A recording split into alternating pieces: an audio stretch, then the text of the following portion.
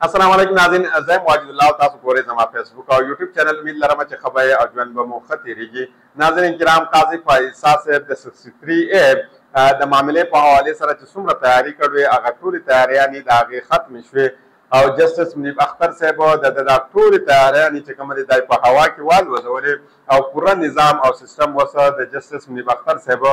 په کنټرول کې راغلی دی ځکه قاضي فایز شاه صاحب نن یو فیصله چې کومه اورول ده د هغې نه اندازه لګې چې قاضي پايسا صاحب څومره په مشکل ګريد او قاضي پايسا صاحب چې کومه د ايکسټنشن معامله وه يا د هغې سره سره چې کومه د آييني ترميم معامله وه هغې ته هم يو بريک لګيدلی دی په دې درسره هم خبره کوم د دې سره سره درته دا هم ويم چې پاکستان تحريک انصاف تر اوسه پورې د ټولو نه غټ امتحان د دې شروع شوی دی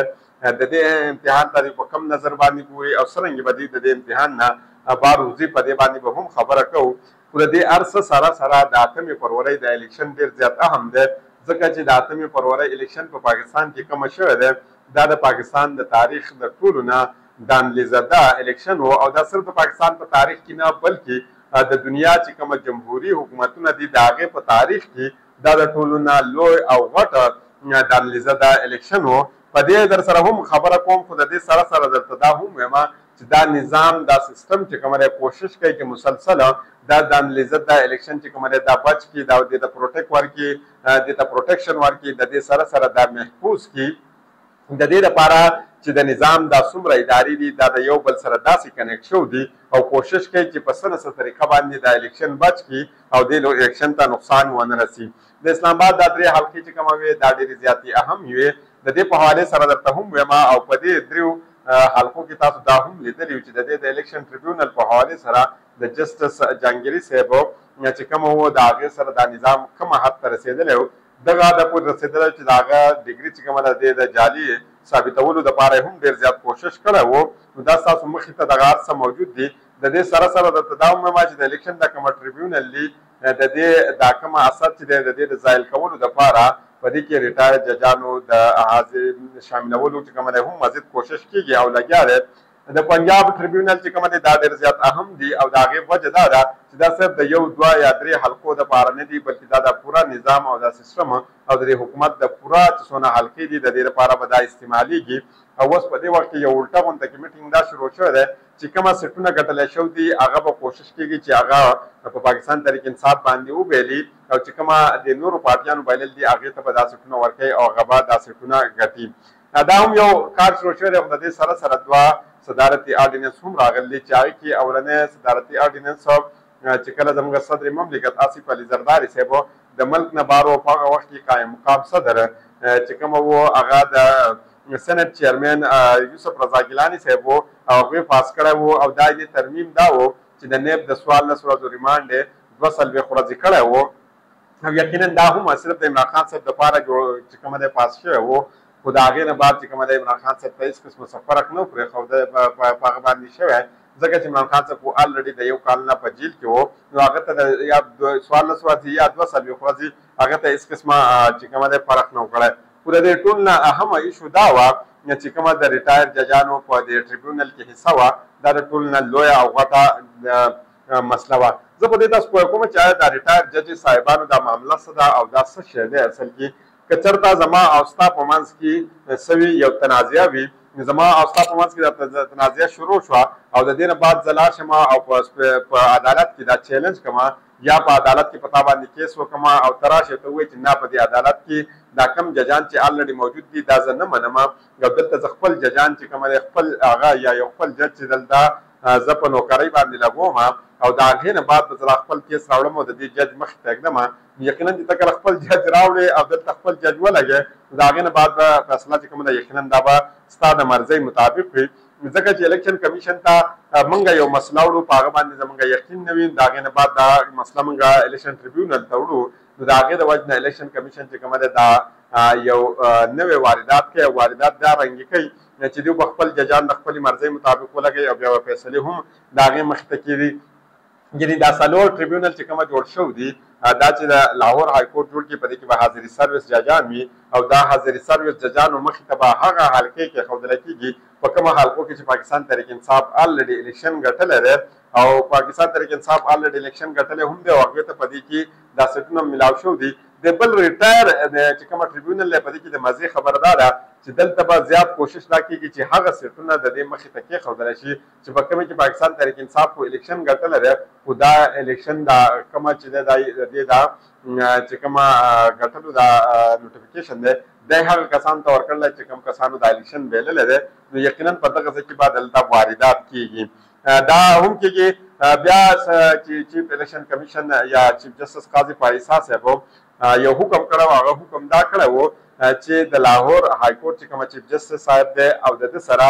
د الیکشن کمیشن چی کومه چیف چیف دی هغه دواړه دی په خپلو کی کینی او دا معامله دی حل کی نو د هغه په خلاف باندی د لاهور های کورټ د جسټس شهزاد ملک صاحب چی کومه دی هغه ودریدلی وو هغه ویلی چی داسی کله هم نشی کیدلی او هغه ټریبیونل قایم کړی وو د هغې نه بعد بیا د لاهور های کورټ یو بینچ په دې باندې ناست وو او هغه یو واحد بینچ دا ویلي وو چې د لاهور های کورټ چیف جسټس چې کومه ټریبیونل جوړ کړل دي بلکل یقینا دقه ټریبیونل به وي او هغې سره سره هغوی دا هم ویل چې دقه ټریبیونل به هم وي او هغه ویل که چرته الیکشن کمیشن د دې ټریبیونل نوټیفیکیشن نه جاري کوي نو د هغې نه بعد به اټومیټیکلی دا ټریبیونل چې کومه ده دا به خود به خود چې کومه ده دا به تصور کیږي چې دا بلکل جاري کړی شو دی د هغې نه بعد داسې وشو چې ملک شهزاد چې کومه دی هغوی د لري کولو دپاره کوشش شروع شو او په سپریم کورټ کې چې کومه دی دا کوشش شروع شو او د هغې د لري کولو او د هغې مقصد صرف او صرف دا وو چې دیو درشي د هغې په ځای باندې چیف جسټس عالیه نیلم صاحبه چې دا دیو راشي او هغه بیا دغه معامله چې کومه ده په سپریم کورټ کې چیلنج شوه او د هغې نه بعد دا د چیف جسټس قاضي فایسا صاحب د همخیال بینچ مخې ته کېښودله شوه او بیا چې هغوی څرنګه فیصله وکړه ستاسو مخې ته هم ده او زما مخې ته هم ده خو په دغه بینچ باندې د هغه خپل همخیال بینچ مطابق بیا هم قاضي پایسا صاحب ته ډېرې مسلې وې یعنې قاضي پایسا صاحب ویلې که چېرته تاسو جست چیف جسټس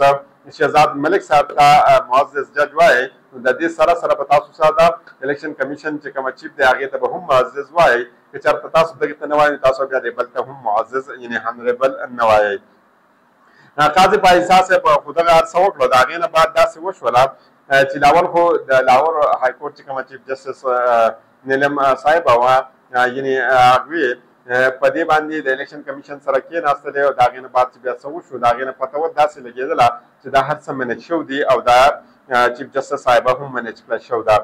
سپریم کورټ بیا دا وویلې چې موږ به داسې وکړو، خیر دی ځه هر څه وشو، اوس به داسې کار وکړو چې څلور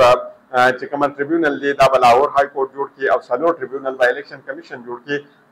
لاهور های کورټ چې کوم ټریبیونل جوړ کړي پای کې به حاضر سرویس ججان صاحبان وي او چې کوم الیکشن کمیشن جوړ کړي پای کې به ریټایر جج صاحبان وي یعنی د ریټایر جج صاحبانو مخې ته به هغه کیسونه کې خودل کیږي چې په کومه حالکو کې پاکستان تحریک انصاف الیکشن بیللې هم ده یا پاکستان تحریک انصاف الیکشن ګټلې ده او دغه حلقې بیا د نورو پارټیان تور کړل شو دي او د حاضري سروس ټربیونل مخې ته به هغه حلقې کېښودل کېږي چې په کومې کې پاکستان تحریک انصاف الېکشن ګټلی دی او بیا پاکستان تحریک انصاف ته دا سیټونه ورکړل شوي هم دي. نو یقیناً دلته تاسو وینئ چې دلته به هم دا یو دانلي چې کومه ده یو واردات به کېږي. اوس راځو ستاسو مخې ته دا کومه فیصله چې قاضي پاجسا صاحب اورول ده دا زه ستاسو مخې ته ږدم. سپریم کورټ د پنجاب الیکشن ټریبیونل په لاهور های کورټ فیصله چې کومه د کالعدم ګرځول ده پنجاب الیکشن ټریبیونل د اسلام آباد په معاملې باندې د سپریم کورټ د لاهور های کورټ سنګل بینچ په دولسمه جون دوه زره او څلېرویشتم فیصله چې کومه د کالعدم ګرځول ده سپریم کورټ چیف جسټس قاضي فایسا صاحب په کیس په فیصله واورول ده او هغوی دا ویلي چې د لاهور های کورټ د فیصلې خلاف چې الیکشن کمیشن کوم اپیل دی دا یې هم دوی منظور کړی دی عدالتي فیصله کې دا ویل شوي دي چې کومه تنازعه د دوو آئیني ادارو په مابین کې وي نو هلته مختاط کیدل چې کومه ده مختاط رویه چې کومه ده دا اختیارول پکار دي. لاهور های کورټ فیصله په طور عدالتي نظیر چې کومه ده دا په یو پلیټ فارم باندې هم چې کومه ده دا موږ نشو پیش کولای. سپریم کورټ پنځه رکنې لارجر بینچ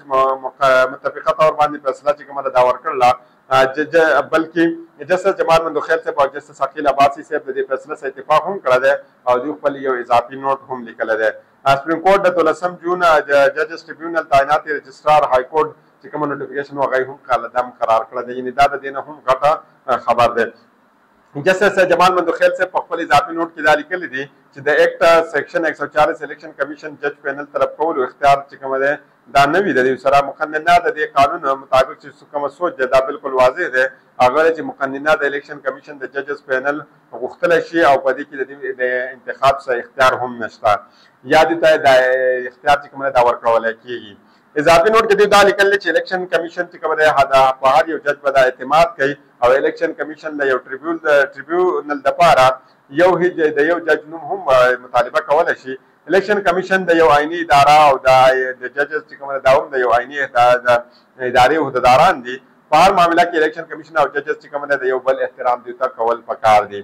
جسته جمال مندو خیل صاحب په اضافي نوټ کې دا هم ویل چې الیکشن کمیشن او های کورټ ججز په درمیان کې باقاعده تور باندې مشاورت شوی دی چیف جسټس های کورټ او الیکشن کمیشن په مشاورت په نتیجې نه زمونږ مخ ته دا خبره چې کومه د مخ ته راغله چې د کومانس کې اتفاق شو ده امید دا ده چې اوس به الیکشن کمیشن او ټریبیونل د تشکیل لپاره اقدامات چې کومه دی دا به کیږي او هغه ده چې امید دا هم ده چې الیکشن ټریبیونل قانون چې کومه دوی ته مهلت ورکړی د هغې په مهلت په دوران کې به دوی دا فیصلې کوي جسټس عقیل عباسي صاحب هم د جسټس جمال مندوخیل صاحب د اضافي نوټ سره اتفاق کړی دی او لیکلي دي چې جسټس جمال مندوخیل د اضافي نوټ سره زه اتفاق هم کوم او لاهور های کورټ دا فیصله چې کومه دا قلعه قلعه دم نشي ګرځولی لاهور های کورټ په کیس کې میرټ چې کوم دی دا په دلایل سره نه دی اورول شوی. د کیس تحریری فیصله چې کوم ده دا هم جاری کړل شوی ده. سپریم کورټ د کیس دا تحریری فیصله جاری کړله. چیف جسټس پاکستان قاضی په عیسی صاحب د یوولس صفحات مشتمل یو فیصله تحریر کړله.